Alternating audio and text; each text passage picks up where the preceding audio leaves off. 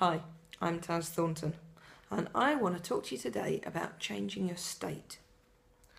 I'm talking about those days where we wake up and the stresses and strains and worries of everyday life that we all carry with us just feel too much, and all we want to do is hide under the duvet. Now, although that can feel comforting at first, we're not actually doing anything to change things. All we're doing is giving more and more of our energy to these negative states. So, effectively, by just staying under the duvet and wallowing in them, we're giving them more energy and they're growing. So, at the end of the day, I'm guessing most of the time you'll just feel more stressed because you haven't done anything positive to change either the situation or the way you perceive it. One of my greatest ever teachers, a guy called Chris Lutterchow, once taught me about movement as a way of changing state. He used to say, change body, change state. And it really is that simple. For those of you who go to the gym, think about those times where maybe it's cold and grey and rainy and muddy outside, and you really don't want to get up and make all that effort to go and work out. But how different do you feel when you make that change, when you actually go and do something positive, when you choose to take control of your life for an hour?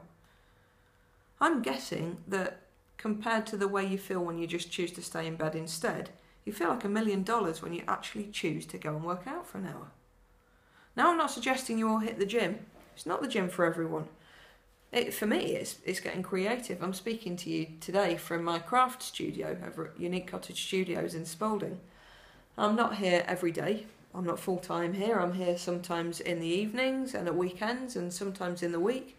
It depends what else is going on and what I'm creating. But this place for me represents a real positive outlook. All those worries that I carry around with me, just like you, when I get here, it's like I put them all into a bin and leave them outside the door. And if I choose to, I can pick them up and take them with me on the way out. But you know what? Most of the time, I don't want to pick them up again. When I step through this door, I'm coming into a really positive state. I'm coming into a place where I'm going to meditate and journey and create, connect with the universe, connect with my spirits, and just make something physical out of nothing. And maybe maybe I'm creating something, I'm channeling something for someone else who's asked me to, to make them something, either as a, a medicine piece or an anchor object to help them change their state. Sometimes it's medicine jewellery, or a drum, or a rattle, or a staff, or a wand, it could be anything. And that's part of the beauty of coming here because it just opens up possibilities. So from that state outside of here, where sometimes, like the rest of you, it can feel like the walls are closing in, come in here, come in here, and the only limit is my imagination. So that for me, this is my coming to the gym. This is my doing something positive to change your state.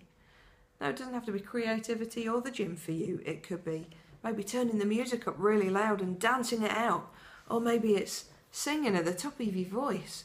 Maybe it's going for a drive, maybe it's going for a walk, whatever it is movement changes so much. Honestly, it does. And you know what? When you start to get out of the funk, when you choose to change rather than just sitting and wearing all of those worries like a comfort blanket, guess what? Your energy starts to flow. And guess what else happens? Those trapped bits of, of your imagination, the locked up parts of your brain that just get so locked down by the stresses and strains, they start to unlock too. And sometimes just sometimes solutions start to come in. There's no point sitting and blaming your parents or the media or the government or your friends or your peers or your family, whatever's going on, it's yours. And it might not feel very nice to think that, but the only way you can change your life is by taking responsibility for it. So move. Don't sit in the problem. Get up, change, walk about, write things down, whatever it is for you. Just don't keep sitting in it because when you're sitting in it, you're not doing anything to change it. And that's where you'll just feed those worries with more and more of your energy. You're feeding the beast, and the beast's only going to get bigger. And sooner or later, it will be bigger than you. So do something positive. Change body, change state. Don't sit in it. Don't blame external factors. Just do something positive to change the way you think about things. It's a really simple life rule, but honestly, it can make such a difference. Let me know how you get on. I'm Taz Thornton.